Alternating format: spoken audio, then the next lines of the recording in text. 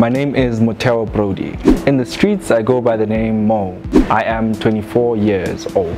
I am an intern in team education at Section 27. Section 27 has a long history of championing um, social justice issues that affect particularly black and disenfranchised people.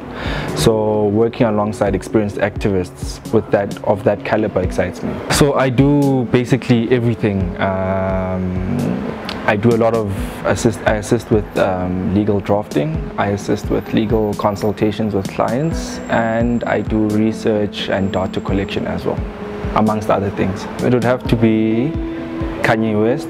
Um, everything I'm not made me everything I am. Sweet or sour? Sweet. If I was president for a day, I would end all pit, I would demolish all pit toilets in, in, in South Africa and I would free all detained Must Fall activists. Red wine or white wine? Do they still make white wine? Red wine. I'll go with red wine.